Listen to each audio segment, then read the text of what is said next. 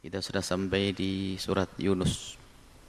Sampai kepada ayat yang ke-65. A'udzu billahi minasyaitonir rajim. Bismillahirrahmanirrahim. Wala yahzunka qawluhum innal 'izzata lillahi jami'a. Huwas samiul 'alim.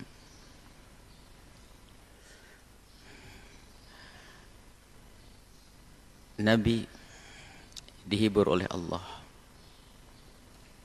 Sekaligus ini adalah hiburan yang Allah berikan kepada warathatul anbiya. Penerus Nabi di dalam mengajak kepada Allah Subhanahu wa taala. Semangat di dalam hati untuk membawa hamba-hamba Allah kepada ridha Allah. Sehingga muncullah penerus-penerus baginda Nabi, imamnya adalah Nabi. Yaitu menyeru, berdakwah, mengajak dengan bermacam-macam cara agar umat ini bisa dibawa ke jalan Allah. Dimulai dari orang yang membangkang, memban, memusuhi Allah dan Rasulnya, orang-orang kafir, hingga orang-orang yang sudah beriman kepada Allah dan Rasulnya akan tapi dikuasai oleh kelalaiannya maka semua dari mereka ini adalah perlu namanya ajakan. Nah Nabi mengajak. Yang diajak Nabi adalah dimulai dari orang-orang dekat beliau. Kemudian suku beliau masyarakat beliau hingga lebih luas. Dan begitulah cara berdakwah. Fa'angdir. Yang diingdar dua ashiratakal akrobin dari keluarga dulu akan tetapi di dalam mengajak kepada kebaikan tidak selalu disambut oleh mereka biarpun yang kita hantarkan adalah kebaikan ada kala dari mereka itu yang menolak kebaikan yang kita hantarkan sehingga kadang ada terlintas di hati kita kekesalan. Orang diajak baik gak mau, oh, kesal. Kalau Nabi tidak sampai derajat semacam itu. Akan tapi kita sebagai penerus baginda Nabi kadang semacam itu. Kita semuanya sebagai semua ini juru dakwah. Di saat mengajak orang kepada kebaikan, kadang di saat kebaikan kita tidak disambut oleh mereka, telah didau, telah mendahulu kita adalah marah, emosi, kekesalan. Dan semestinya tidak seperti itu. Nabi diingatkan oleh Allah. La yahzunka qawluhum. Jangan menjadikan engkau sedih, sakit, gelisah dengan apa yang mereka katakan. Mereka mengatakan bermacam-macam tentang dirimu. Jangan menjadikan kamu kecil hati. Terus teruslah berjuang dan berjalan di dalam dakwah. Jangan berhenti. Qauluhum omongan mereka ini, maka ini harus ada wakafnya. Kalau tidak ada wakaf, aslinya kan tidak ada di dalam ini ada wakaf di sini. Karena kalau digabungkan dengan di belakangnya maknanya jadi seolah-olah aneh. Qauluhum innal izzata lillahi jami'an. Nah, innal izzata lillahi jami'an adalah hak. Innal izzata cuma qauluhum bukan. Qauluhum apa? Qauluhum ada perkataan mereka. Berhenti. Qauluhum wakaf. La yazunka qauluhum berhenti. Kolum apa perkataan mereka? Perkataan mereka perkataan omong kosong yang nggak ada artinya.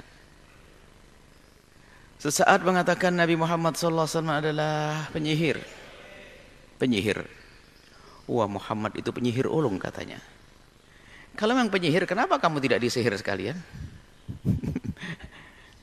Buktinya mereka juga nggak kena, masih membangkang. Disihir aja biar patuh. Sesaat mengatakan gila, kalau gila nggak bisa, dia punya sifat yang tertata rapi, kejujurannya, kelebah lembutannya. Orang gila nggak bisa menata perilakunya. Sesaat dikatakan penyair dan seterusnya. Itu adalah kalau omongan mereka yang mereka sendiri sebetulnya dengan omongan-omongan mereka ini adalah tidak bisa nerima. Mereka itu berdusta. Dan lebih banyak lagi apa yang diomongkan untuk Nabi Muhammad. Caci maki untuk Rasulullah menolak agama Nabi Muhammad fala yahzunka jangan itu semua menjadikan berkecil hati lalu tidak ber, lalu berhenti berdakwah atau ya sudahlah putus asa oh tidak ini adalah sebenarnya ayat juga untuk penerus penerus baginda Nabi la yahzunka qauluhum. Reaksi dari mereka yang engkau ajak wahai penerus Nabi. Jangan menjadikan engkau lemah semangat. Bahkan kadang penolakan adalah dari orang yang sangat dekat. Yang menolak Nabi adalah ada Abu Lahab. Bahkan seperti Abu Jahal dan yang lainnya adalah bukan orang jauh dari baginda Nabi Muhammad wasallam. Dikembalikan kepada nabi-nabi terdahulu karena Nabi Nuh bagaimana siapa yang menolak? Nabi Lut siapa yang menolak? Jadi penolakan itu selalu ada. Hanya yang harus kita fahami bahwa di saat ada hal-hal semacam itu, jangan menjadi sebab lemah semangat kita lalu berputus asa. Tetap berjuang dan berjalan sampai kapan? Sampai dia mati atau aku mati. Sampai dia mati atau aku mati. Ini adalah dalam berdakwah. Kemudian ketahuilah bahwa disebutnya innal izzata lillahi jami'a. Mereka yang menolak kebenaran dengan kesombongannya karena membanggakan kekuasaannya, membanggakan kebesaran medianya, membanggakan, membanggakan, membanggakan dengan apa yang dibanggakan. Innal izzata lillahi jami'a.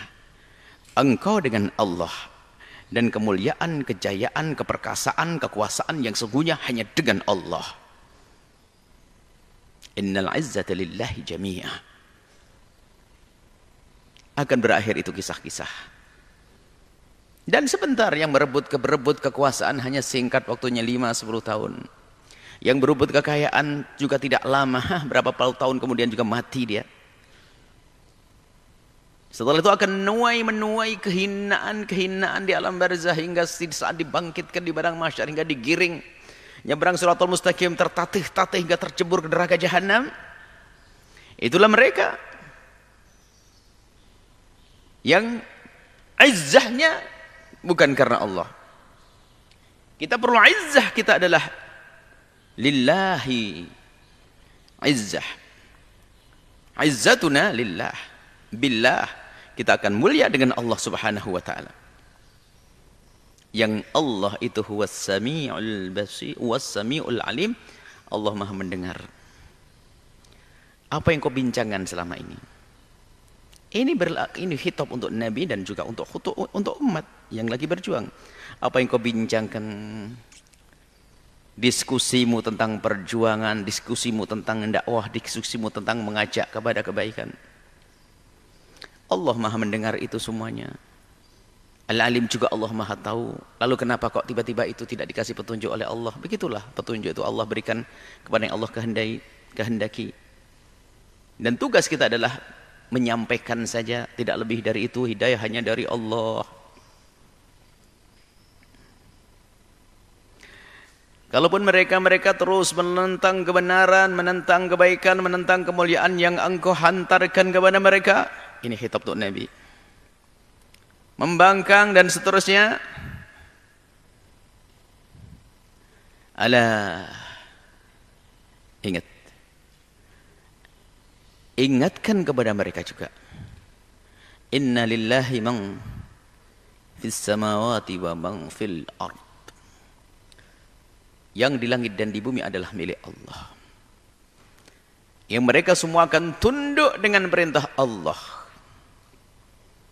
akan tunduk dengan perintah Allah. Mereka adalah pasukan junudullah. Dikatakan kalau sudah junudullah itu tidak harus tentara yang berbaris, bukan. Bisa saja bumi yang diguncang lalu tenggelamlah mereka, ditelan bumi. Bisa saja mereka itu adalah air yang diangkat oleh Allah maka jadilah tsunami. Bisa jadi dia adalah virus kecil yang namanya corona lalu menghebohkan dunia. Itu jundun min junudillahi. Maka hendaknya kita harus benar-benar menyadari bahwasanya al-izzah lillah. Dan semua yang di langit dan bumi adalah milik Allah. Dan semuanya patuh kepada apa yang perintahkan oleh Allah. Air adalah air dia patuh untuk bermanfaat kepada si fulan. Tapi kadang air pun Allah perintahkan untuk menyiksa fulan, maka tenggelamlah seseorang. Air, api adalah api. Allah perintahkan untuk bermanfaat kepada si fulan, maka bermanfaatlah. Untuk menanak nasi dan sebagainya. Tapi ada api yang diperintahkan Allah untuk menghancurkan, membakar. Begitulah ini semua jundun min junudillah. Allah bisa jadikan apa pun yang kecil kalau sudah Allah perintahkan akan berbuat dan semuanya akan terselesaikan. Sampaikan kepada mereka yang masih membangkang dengan perintah Allah, baik mereka yang tidak beriman atau yang sudah beriman kepada Allah kan tapi mengentengkan ingat jundun min junudillahi semua yang di langit dan bumi adalah milik Allah. Apa yang ada di pikiran mereka, mereka kaum Nuh di saat hujan mulai turun. Mereka anggap itu adalah suatu keberkah, suatu karunia. Akan tapi ternyata hutan tidak hujan tidak kunjung berhenti. Di saat melewati batas betis mereka, di saat melewati batas uh, mata kaki mereka, mereka akan mengatakan, ini hujan deras, hujan deras. Di saat air mulai meninggi sampai lutut, mereka akan mengatakan, ini lebih deras dari hari sebelum-sebelumnya. Ternyata naik sampai ke pusat mereka, ini luar biasa tahun ini hujannya. Akan tapi menenggelamkan mereka akhirnya. Mereka tidak bisa berkata-kata lagi.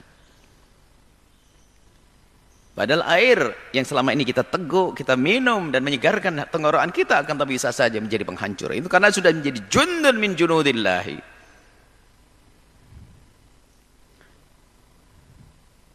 Wa man yattabi'ul ladzina yad'una min dunillahi syuraka'a. Mereka-mereka itu yang mengikuti orang-orang yang memohon dan menyembah selain Allah itu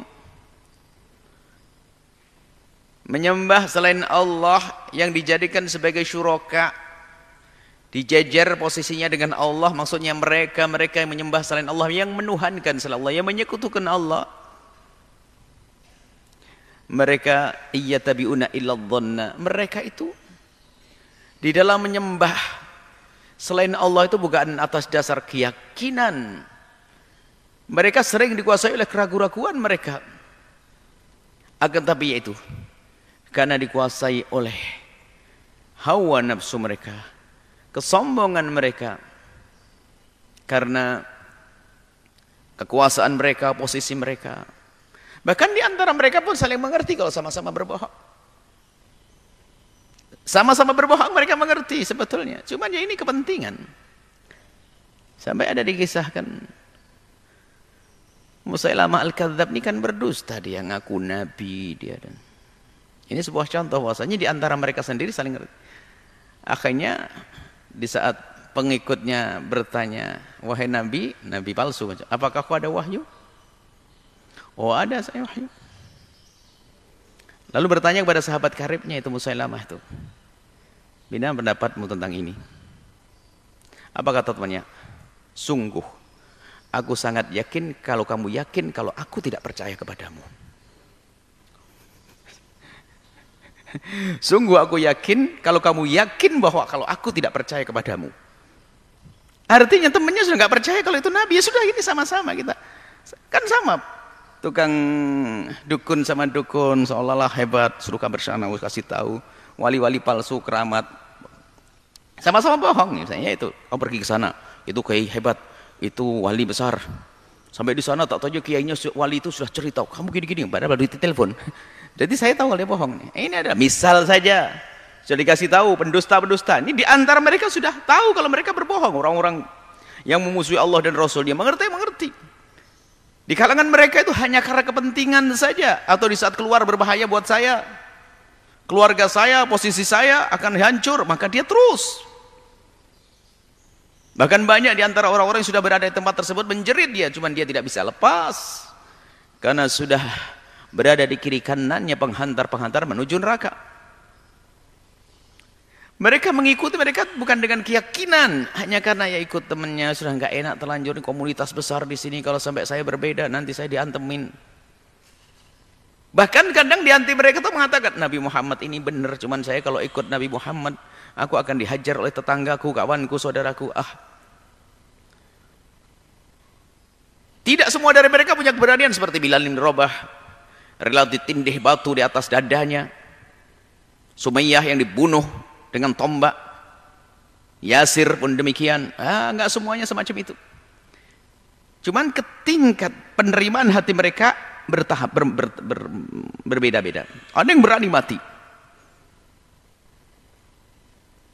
Ada yang membangkang, ada yang menolak. Artinya apa? Kebenaran itu jelas bagi siapa pun. Tapi kebatilan juga jelas sebetulnya bagi siapa pun. Asalkan mereka menggunakan akal mereka berpikir Tuhan yang mereka sembah selain Allah, mereka harus berpikir.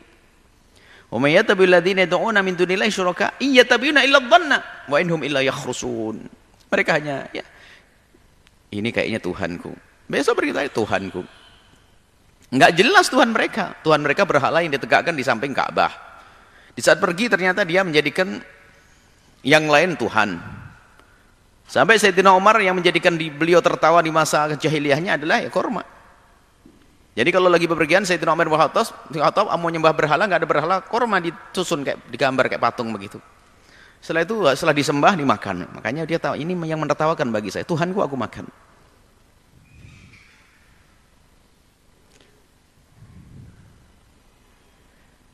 Diajak berbicara tentang keimanan nih. Walladhi ja'ala. Kalau itu Tuhan-Tuhan palsu itu yang disembah sebagai dengan don dengan praduga tadi, enggak dengan keyakinan. Enggak bisa berbuat apa-apa tapi Tuhanmu adalah itulah.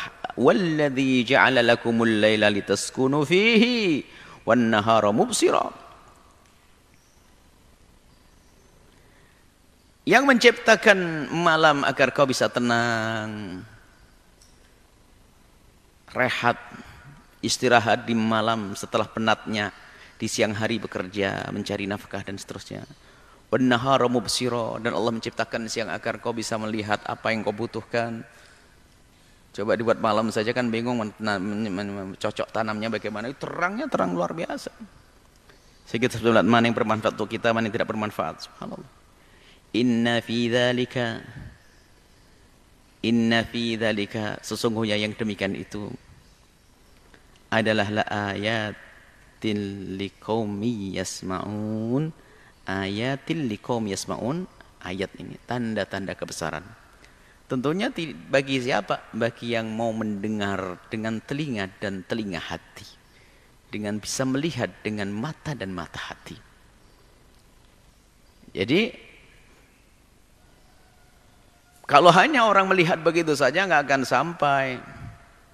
Mata hati, telinga hati ini yang bisa mendengar dengan hati itulah yang akan menjadikan seorang sadar.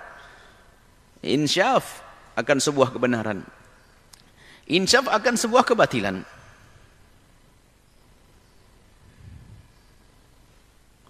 Nah ini. Allah subhanahu wa ta'ala. Jadi terus memberikan kepada kekasihnya baginda Nabi Muhammad SAW petunjuk-petunjuk hiburan ya hiburan di saat baginda Nabi mendapatkan tantangan. Subhanallah kalau bicara tantangan nggak ada apa-apanya tantangan ditemui oleh umat Nabi hari umat umat Nabi saat ini. Tantangan Nabi adalah dikepung mau dibunuh wah macam-macam perang Berperang Alhamdulillah kita tidak pernah menemukan perang biarpun sekali. Maka tidak usahlah kita berperang. Cukup kita merangi hawa nafsu kita. Nabi berperang. Sahabat-sahabat Nabi berperang. Bersimbah darah. Meninggal. Wafat. Mati syahid mereka. Dan mereka mencari itu semuanya. Mereka mengerti kejayaan di akhirat. Kejayaan, kejayaan yang sesungguhnya dengan Allah. Nah ini yang harus kita jadikan pelajaran bagi kita semua perindu ridho Allah. Tapi ingat di sana akan selalu ada seperti adanya siang dan malam maka ada orang baik, ada orang jahat. Baru kita tidak punya masalah tentang ini semuanya nanti kalau kita semua sudah sama-sama masuk surga nggak ada lagi. Kita nggak akan, akan bertemu dengan problem-problem semacam itu. Maka kepada juru dakwah di mana pun berada, terus tabah, yakin, berinovasi, Kemudian bekali dirimu dengan semangat, ketabahan, tidak putus asa kalaupun menemukan permasalahan pada orang-orang yang diajak ternyata mereka tidak kunjung sadar, maka koreksi diri kita. Kemudian jika kita berbenah, kemudian terus tabah, jangan mundur. Kemudian banyaklah bersandar kepada Allah Subhanahu wa taala. Kekuatan yang sesungguhnya dari Allah, kejayaan hanya dari Allah. Maka yang menyeru, yang berjuang bukan karena Allah dia akan terhinakan.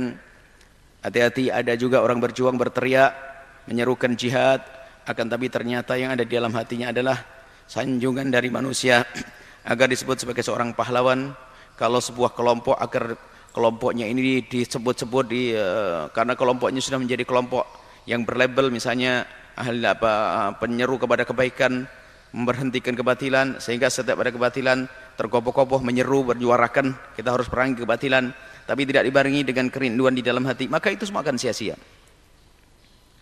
Maka kita semua harus menata hati kita ini. Hati kita. Jangan main-main urusan hati. Bukankah api neraka dinyalakan pertama kali oleh Allah untuk tiga model manusia? Tiga model manusia. Yang pertama adalah orang yang belajar Al-Quran, memahami ilmu Al-Quran, akan tapi ternyata tidak mengamalkan ilmunya. Ditanya nanti kau apa kau belajar Al-Quran, belajar isi Al-Quran, memahami Al-Quran. Orang ini menjawab, untukmu ya Allah, kau dusta. Kau belajar syariat, belajar agama hanya ingin disebut sebagai orang alim paling hebat. Paling hebat ilmumu, paling hebat ceramahmu, paling bahat penjelasanmu, paling banyak karanganmu, paling, paling, paling, paling. Pergi kau ke neraka sana. Ini orang alim masuk neraka. Yang kedua adalah orang kaya yang ternyata bersemangat untuk mencari uang setelah itu mendermakan uangnya untuk pondok pesantren, masjid dan sebagainya. Ditanya oleh Allah untuk apa kau itu semua untukmu ya Allah. Allah yang lebih tahu mengatakan kadibta kau dusta. Kau melakukan itu semuanya karena kau sudah ditempeli sebagai seorang dermawan. Hanya pengen disanjung sebagai orang yang paling dermawan dan itu sudah kau dapatkan gelar di dunia maka pergilah ke neraka cari pahala kepada orang yang menyanjungmu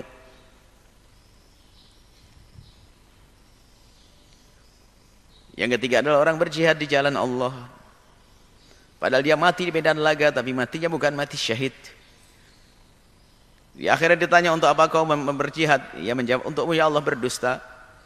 Kau bohong kau berjuang hanya ingin disebut kau pahlawan penyuruh kebenaran amar ma'ruf nahi mungkar. Jadi setiap ada gerakan-gerakan segera nongol. Bukan salah segera bersemangat iya. Tapi ingat tolong tata hati apalagi zaman ini zaman fitnah ada namanya media jangan sampai tertinggal dari dakwah jangan sampai dia tertinggal di dalam urusan amar ma'ruf nahi mungkar hanya karena takut tidak dimuat oleh media lalu dianggap melempem oh bukan itu urusan kita dengan Allah maka menata hati semangat ia harus terus akan tapi ketahilah. Yang harus kita tata hati kita sudahkah ini semua karena Allah. Kalau karena Allah akan berjalan mulus. Karena kalau Allah akan selalu indah. Indah di dalam berjuang, indah di dalam mengajak kepada kebaikan. Dan kemenangan dari Allah. Sebab-sebab kemenangan adalah sebab-sebab kejayaan kita kemenangan adalah kalau kita dengan Allah. Makanya Imam Salahuddin Al-Ayyubi Jangan dianggap beliau hanya sekedar bagaimana hebat di dalam mengatur strategi perang, bukan. Akan tapi ternyata beliau dan pasukannya adalah yang tidak pernah ketinggalan di tengah malam untuk mengadu kepada Allah. Tanyakan kepada diriku, diri kita sendiri dan dirimu sendiri yang selalu selama ini menyeru kepada kebaikan. Yang berdakwah amar ma'ruf nahi mungkar mana Imam Salahuddin Al-Ayyubi Imam Salahuddin Al-Ayyubi tengah malam memohon kepada Allah enggak habis-habisnya dan itu yang dilakukan baginda Nabi tidak menggantungkan dengan kehebatan dohirnya. Akan tapi menggantungkan kepada Allah. Karena apa? innal izzata lillahi jami'a. Langit bumi adalah milik Allah. Pasukan Allah. Ini kita harus tata hati kita. Jangan kita terlena, berdakwah rupanya terlena. Karena dakwah juga dakwah ini juga penting juga kita bisa menjadi terkenal karena berdakwah nanti viral, nanti masyhur, nanti nanti nanti. Bisa saja orang kepleset ke sana. Yang tadi amar ma'ruf nahi mungkar, wah ini adalah hari ini paling bagusnya adalah kita menyuarakan amar nahi mungkar karena banyaknya kemungkaran.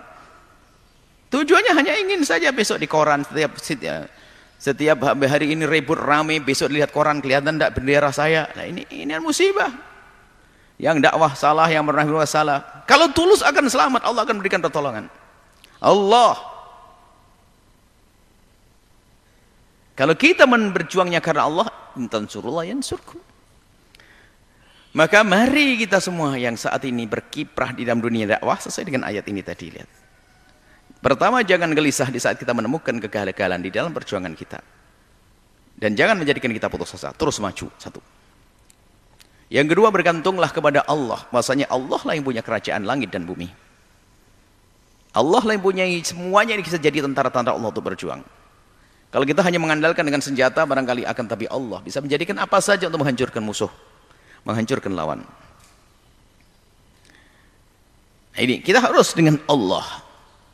Kemudian setelah itu berusaha ya kita berusaha cara zahir, untuk di dalam berjuang ini, kami kemudian setelah itu serahkan kepada Allah Subhanahu wa taala. Kita serahkan kepada Allah Subhanahu wa taala. Dan kalau kita mati, insya Allah mati selamat, mati dalam keadaan mati mulia. Kalau panjang umur, hidup kita akan damai karena apa? Kita berjuang karena Allah. Maka termasuk nanti akibat dari sebuah perjuangan yang bukan karena Allah adalah bukan di saat berjuang terlihat. Kalau perjuangan bukan karena Allah adalah di saat mendapatkan kemenangan baru akan terlihat akan perang di antara mereka sendiri. Berebut posisi. Makanya kalau kita berjuang dengan orang-orang yang tidak tertata hatinya nanti pada akhirnya di saat musuh tidak ada lagi maka kawan pun akan jadi musuh karena kekotoran hati, kebusukan hati.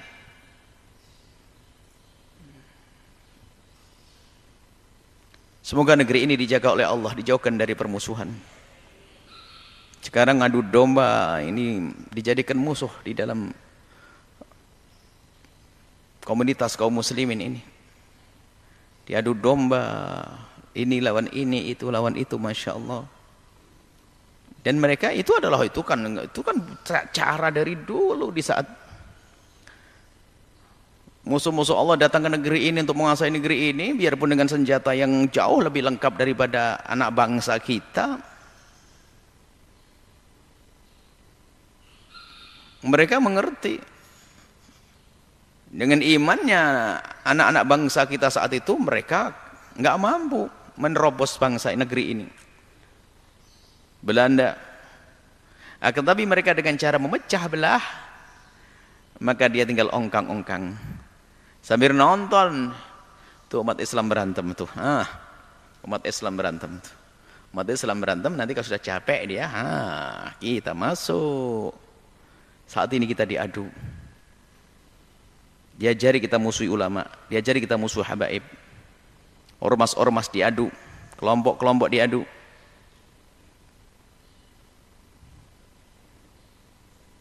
Saling merendahkan sudah Seolah-olah yang satu mengatakan dia berjuangnya salah, yang satu mengatakan kau tidak mau berjuang.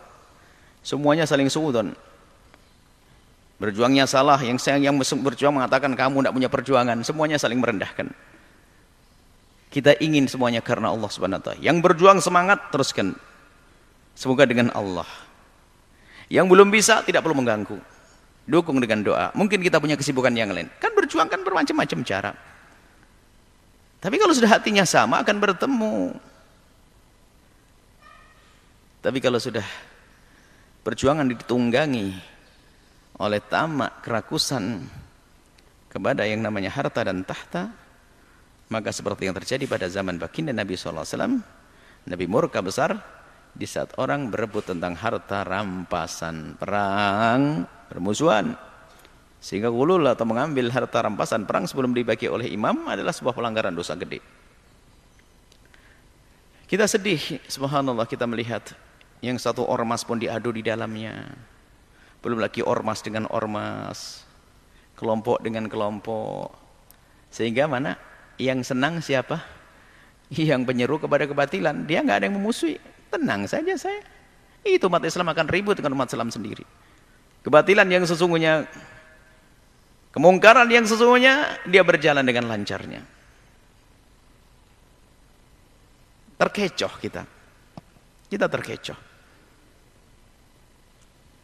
Musuh kita sangat jelas. Yang menyuruh kepada kemungkaran.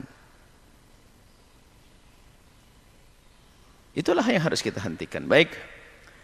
Inilah pelajaran bisa kita ambil pada saat ini adalah jangan lupa mendekatkan diri kepada Allah. Itu kalau orang sudah dekat kepada Allah, maka Allah akan bimbing langkah-langkahnya sehingga tidak akan salah di dalam mereka mengambil langkah perjuangan. Jangan merendahkan umat Nabi Muhammad SAW, sekecil apa pun mereka. Kalau ada yang salah langkahnya, yuk kita tegur dengan cara baik. Bukan dengan caci maki. Caci maki akan membuahkan caci maki. Allah-Allah akan membuahkan olokan. Ayo kita berjuang karena Allah Subhanahu wa taala. Kalau ada orang dengan keberaniannya adalah kita bersyukur kalau tidak ada mereka siapa? Akan tapi bukan berarti yang tidak maju pun mereka kita anggap rendah, oh tidak. Orang punya kesibukan masing-masing. Sehingga pada zaman Nabi pun tidak semuanya diizinkan berperang. Bahkan waktu Nabi menyeru berperang semuanya, anaknya berperang ternyata mereka ingin berperang semuanya. Nabi mengatakan, siapa yang menjaga? Siapa yang menjaga keluarganya? Siapa yang bercocok tanam? Siapa? Nabi melarang ternyata. Ini pernah terjadi pada zaman Nabi, bukan harus semuanya, tidak. Jadi justru ini kesempurnaan dengan membagi-bagi tugas, kesempurnaan. Yang penting hatinya tuh sama deh. Bertemu sama. Biarpun tidak pernah janjian itu sepakat sebetulnya. Ustadz yang berdakwah di Cirebon dengan Ustadz yang berdakwah di Tegal, dengan Ustadz berdakwah di Pekalongan, Ustadz dengan, dengan Semarang, ini dakwah masing-masing umat. Itu sebetulnya kalau mereka tujuannya benar sama karena Allah, semuanya kaum ini di saat bertemu dengan mereka bertemu. Menjadi sebuah kesepakatan yang tidak pernah direncanakan. Itulah maksudnya, tujuannya. Allah dan Rasulnya ini yang menjadikan kita akan tentram, damai di dalam berjuang. Tidak perlu kita mencaci, mengolok dan seterusnya.